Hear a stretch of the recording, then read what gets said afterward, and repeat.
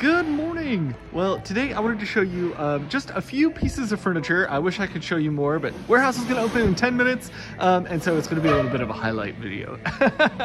so, uh, really wanted to show you this hall tree. Um, I think there are probably more uh, ways to call it, but um, that's what I'm familiar with it as a hall tree. Um, it's got this uh, tall back with uh, places to put your hats or other hangable things from these hooks. Uh, it's got a place here for, um, I think this is for umbrellas. Uh, this little kind of a U-shaped thing keeps them all hooked in. And then there's a space here for, um, I think usually it's like a metal pan and that kind of like sticks in and collects the water that drips off.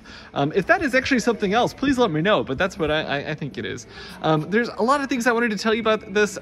there are some really beautiful features. Obviously, the carving up top is super cool. Um, kind of has almost like an Art Nouveau feel to it, doesn't it? Like with all these like vines and swoops. Um, but the, the rest of it also kind of feels like, I don't know, like what do you think? Like arts and crafts kind of? Um, I don't, um, I'm not the best at figuring those things out, but um, those are the vibes I get from it, mostly because of the awesome wood grain uh, as well, which I think is really beautiful. Um, it's got a mirror, pretty fantastic. Um, and another reason why I wanted to show you is because uh, someone made the um, craftiest uh, fix to this that I have seen in a while. Um, so uh, these are what the um, hooks look like. So it's got these um, four kind of uh, swoops that you can obviously hang stuff over. They're, they're really beautiful. Got these little knobs on the end and then the uh, all of the straight pieces have these little fluted pieces to it.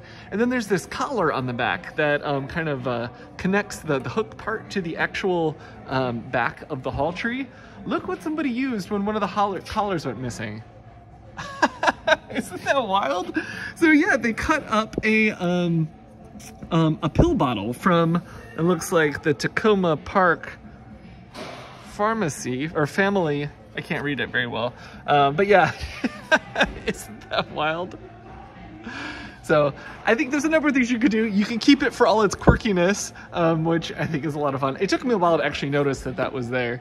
Um, you could also um, paint that a dark brown, which would probably make it disappear a lot quicker. Or you could go the route of trying to get these um, kind of replicated and uh, replace it there. All, all, in all though, it's just a really fun little detail. And one thing I love about the stuff at Community Forklift, you see this evidence of people having used and um, repaired it before. It's a little bit of a, um, a puzzle and uh, yeah, a long kind of look at the history of it.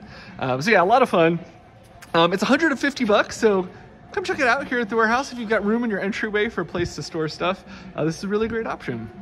And then down here, I wanted to show you this um, set of chairs because I love a good DIY and I think these would make a really great one. So they're um, all six are here. Two of them have the, um, they're like what the captain's chairs with the arms. Um, I really love the profile of these. Look it out. It's got these, uh, um, the top has this kind of like upturned piece here. Um, and then the swoop on the top. And then look at the back.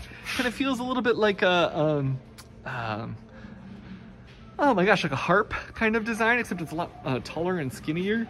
Uh, and it's got even, even has some great legs too.